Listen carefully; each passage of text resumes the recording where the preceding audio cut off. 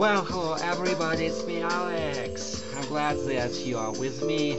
We continue working with the course of grammar mostly because it is part 3 and here we are covering very difficult, very very difficult, very boring but so important issues like gerunds, uh, subordinate clauses, participle, modal verbs and other issues and uh, this is another part uh, and here we will be talking about uh, compound clauses and we are covering in parallel another issue. We're working together with an excellent outstanding native speaker. She's uh, well known around the globe and uh, you have a feeling like sitting at her school somewhere in London or in New York and you are uh, feeling like being uh, submersed in uh, English speaking environment. You have such a feeling. And uh, another thing you just need to listen more. You just uh, have to push yourself to do it regularly probably you you don't feel like doing that.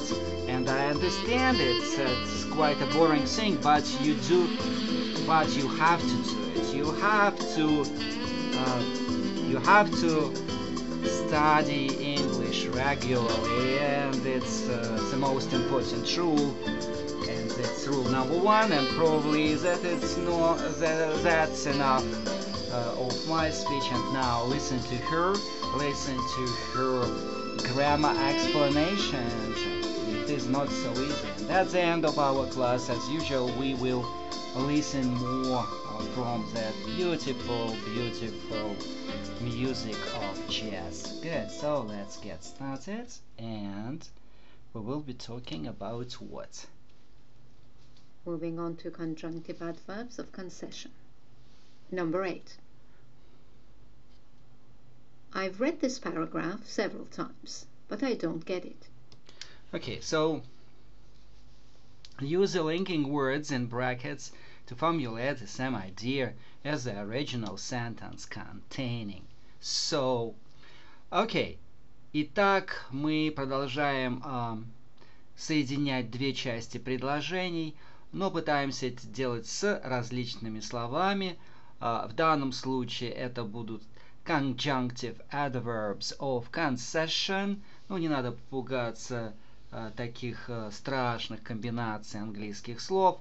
Просто вот такие есть слова, набор слов, которые соединяют эти две части предложения, и они становятся, эти предложения, либо со, сложно сочиненными, э, либо сложно подчиненными, в данном случае concession, сложно подчиненное предложение, уступки. Здесь мы будем эти слова использовать. Still, however, nevertheless, nonetheless. Ну вот предлагается в данном случае still. I've read this paragraph several times, but I don't get it. Я прочитал этот параграф несколько раз, но так я и не понял.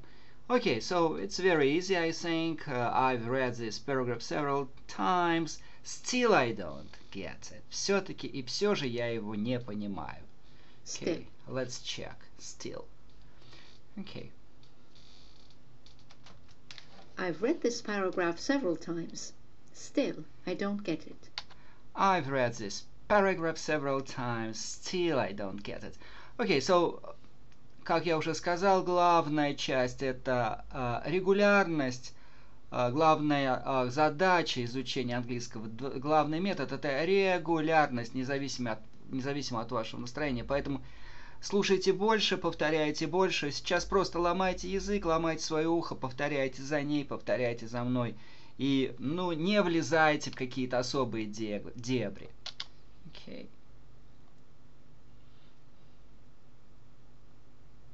Number nine.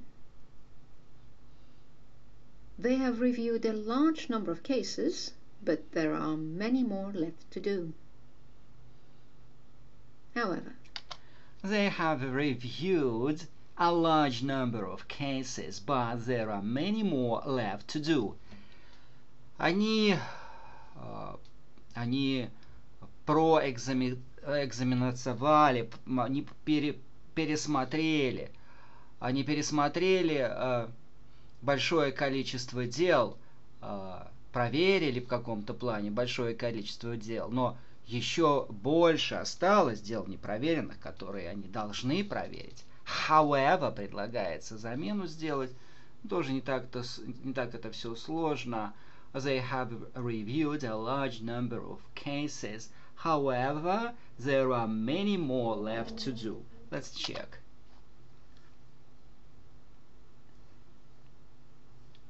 They have reviewed a large number of cases. However, there are many more left to do. Okay, повторяйте. Please repeat after her. They have reviewed a large number of cases. However, there are many more left to Number do. 10. Успеваете? Number 10. The bank already has five branches in this town, but they're setting up two more.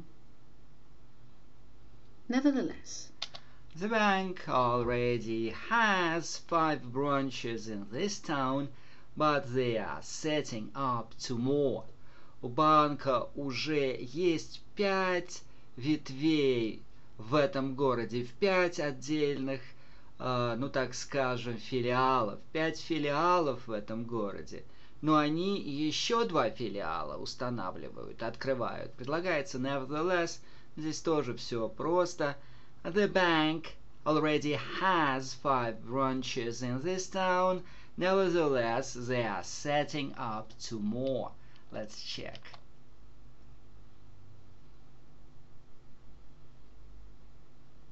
the bank already has five branches in this town. Nevertheless, they're setting up two more. Uh, the bank already has five branches in this town. Nevertheless, they are setting up two more. Uh, смотрите, здесь uh, идут знаки uh, препинания semicolon, точка с запятой, semicolon и кома, запятая. После этих слов still, however, nevertheless, nonetheless, вводные слова, после них требуется запятая. Ну, а мы разбиваем два разбиваем длинное предложение, длинное смысловое предложение на два подпредложения, используем семиколон, как бы а легче понимать, о чем идет речь.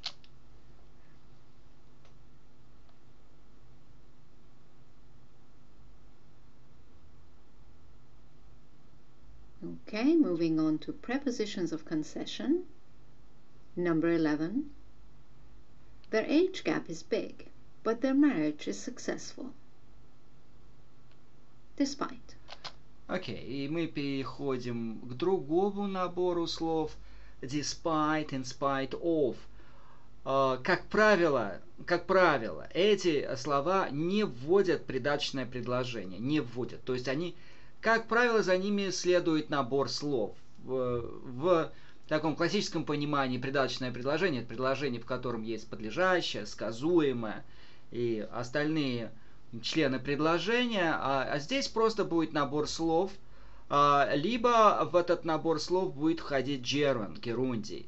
Но in spite of, по крайней мере, здесь четко это совершенно а, прослеживается, потому что gerund loves prepositions, герундий любит предлоги, здесь of предлог. Despite, да, есть ряд слов, после которых лучше употреблять gerund. Окей. Okay. Итак, предложение. The age gap is big – but their marriage is successful. У них большая разница в возрасте, но э, их э, семейная жизнь удалась, или их семейная жизнь э, хороша, они в паре, и эта пара достойна уважения, хотя между ними существует большая, большая разница в возрасте. Ну какие варианты? Давайте посмотрим. The age gap is big, despite their marriage... Uh, нет, так не подходит. Наверное, лучше their marriage is successful, successful despite um, uh, despite uh, despite big age gaps, что-нибудь такое. Uh, their marriage is successful despite uh, a big age gap. Ну давайте посмотрим. Не будем гадать, что нам предлагает она. Their marriage is successful despite their big age gap. Ну да, в том же плане все. Their marriage is successful despite their big age gap. Окей. Смотрите, после despite идет э, набор слов. Gap, э, разница, age gap, э, возрастная разница, big age gap, большая возрастная разница, their big age gap, их большая возрастная разница, то есть существительное и набор прилагательных, набор определений. Окей. Смотрим, наверное, сейчас можно э, сделать здесь и а, перестановку. Да. Despite their big age gap, their marriage is successful. Despite their big age gap, their marriage is successful. Успеваете Their marriage is successful despite their age gap being big. А, вот так вот. Еще и gerund появился. Появился герундий после despite. Смотрите. Their marriage is successful despite their age gap being big. А, их а, семейные отношения удачные, крепкие, несмотря на то, что у них большая возраст, возрастная разница. Но здесь добавился герунди, being, being big. Good, very nice. Да, да мы, мы помним, что после вот этих комбинаций слов despite and spite of часто употребляется gerund. Or, despite their age gap being big, their marriage is successful. Ну, просто перестановка. Despite the age gap being big, and finally, the marriage number 12, is successful. They ran an expensive campaign, but she didn't get elected in spite of. They ran an expensive campaign, but she didn't get elected. Они провели очень дорогую избирательную кампанию, но она так и не была избрана. In spite of. Окей. Ну что, какой здесь вариант? In spite of. Uh, in spite of. Uh, ну так скажем, in spite of running an expensive campaign – uh, нет, she didn't get elected in spite of uh, running an expensive campaign. Да, такой вариант, наверное, приемлем. Давайте посмотрим.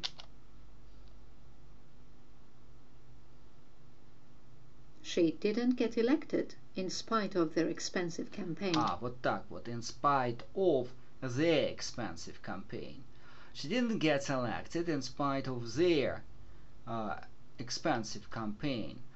Okay, uh, in spite of them, uh, in spite of them running an expensive campaign, такая э, формулировка, наверное, тоже будет сейчас присутствовать. Uh, мы вставили герундий.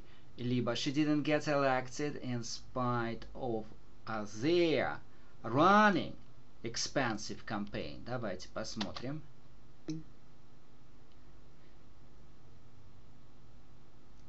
Or, in spite of their expensive campaign, she didn't get elected. Просто перестановка. In spite of the expensive campaign. Using the gerund. Oh, gerund. She didn't get elected, in spite of them or in spite of their running an expensive campaign. Ну вот, мы добрались до gerunda. В первом варианте просто in spite of, in spite of и набор слов, а здесь вот пошел наш любимый gerund – running, gerund running, и мы помним, что здесь два варианта приемлемы. Them и the приемлемый. Объектный и притяжательный падеж при, приемлемы оба. Uh, she didn't get elected in spite of them running an expensive campaign. Or she didn't get elected in spite of their running an expensive campaign.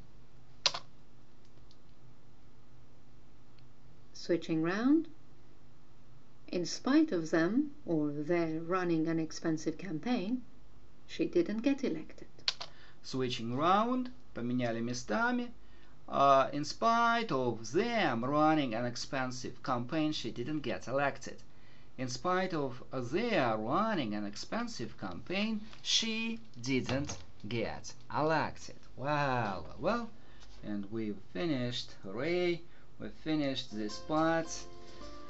We have done more than enough, and uh, you were very strong, very mature. Вы слушали все это, хотя было, наверное, ужасно скучно.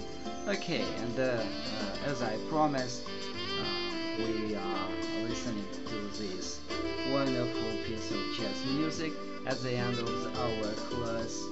Okay, and I appreciate uh, your staying with me. I'm very happy that you listen to that program. And don't forget that you are always welcome at the School of English in Pushkino. And I'm saying goodbye. I wish you all the best. See you again and again. Alex.